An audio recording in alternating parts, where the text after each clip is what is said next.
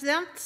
Jeg vil redegjøre for to av sakene, som sagt. Årsrapporten fra Stortingets delegasjon til Nordisk råd for annet halvår 2012, første halvår 2013, og deretter innstilling til stortingsmelding 50 om nordisk samarbeid, som utenriks- og forsvarskomiteen enstemmig anbefaler.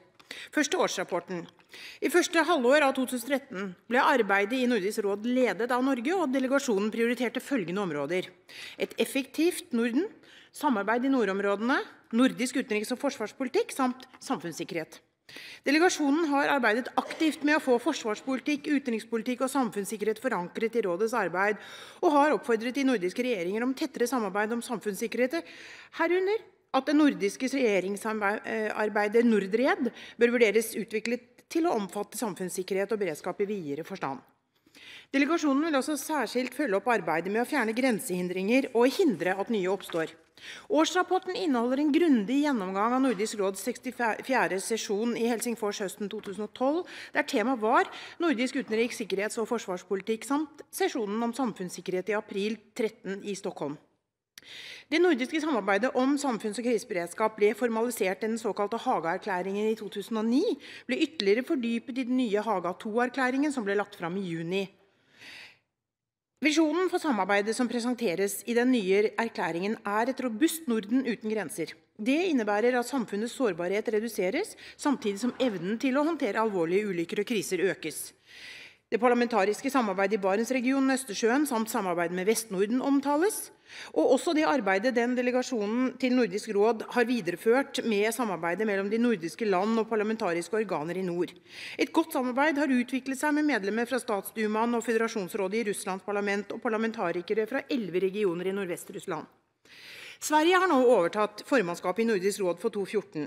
Arbeidet har fått tittelen Norden i Europa, Europa i Norden, der de har varslet å legge spesielt vekt på tre hovedområder: det nordiske arbeidsmarkedet, bærekraftig høsting av naturressurser og 200 år med fred mellom de nordiske landene. President, Det er passende at vi denne uken debatterer nordisk samarbeid. Denne uken har 200-årsjubileet for Kiel-traktaten blitt markert. Den la grunnlaget for varige, fredelige relasjoner mellom de nordiske landene, og noe samarbeidet i Nordisk råd er tuftet på. Stortingspresidenten minnes oss denne uken under markeringen i Kiel på at napoleonskrigen og freden i Kiel viser at de nordiske landene både er medspillere i og avhengige av begivenheter i verden rundt oss. Vi er i dag tettere sammenvevd i Norden enn noen gang. Gamle fiender har blitt gode venner. Samarbeidet er vår nøkkel til å løse kriser og til å komme gjennom mørke tider. Nordisk råd er et slikt samarbeid. Det er sterkt, og videreutviklingen skjer i høyt tempo, særlig innenfor utenriks- og forsvarspolitikk. I 2013 hadde det norske formannskapet gleden av å være vertskap for Nordisk råds sesjon her i Stortinget. Vi fikk friske debatter, både her i og for seg i mediene. I debattene i salen var fokuset på grensehindre, og da især knyttet til unges muligheter til utdanning og arbeid i Norden, og på et sterkt nordisk samarbeid på helseområdet. Den nordiske velferdsmodellen har også de senere årene fått mye oppmerksomhet internasjonalt. Kunsten å kombinere økonomisk vekst og dynamikk med en sjenerøs og skattefinansiert velferd har vist sin styrke i den økonomiske krisen, men vi må ikke ta den for gitt. Den nordiske modellen er bærekraftig fordi den kan endres og stadig endrer seg. For å bevare den nordiske modellen må vi være villige til å anpasse den. Vi må være villige til å investere i kunnskap, forskning, utdanning, infrastruktur og et konkurransedyktig skattesystem. Det treårige programmet Holdbar nordisk velferd ble igangsatt av Nordisk råd i 2013 og skal vare til 2015. Det skal realisere de nordiske statsministrenes oppfordring til de nordiske helseministrene om å utarbeide konkrete forslag til å videreutvikle det nordiske helsesamarbeidet.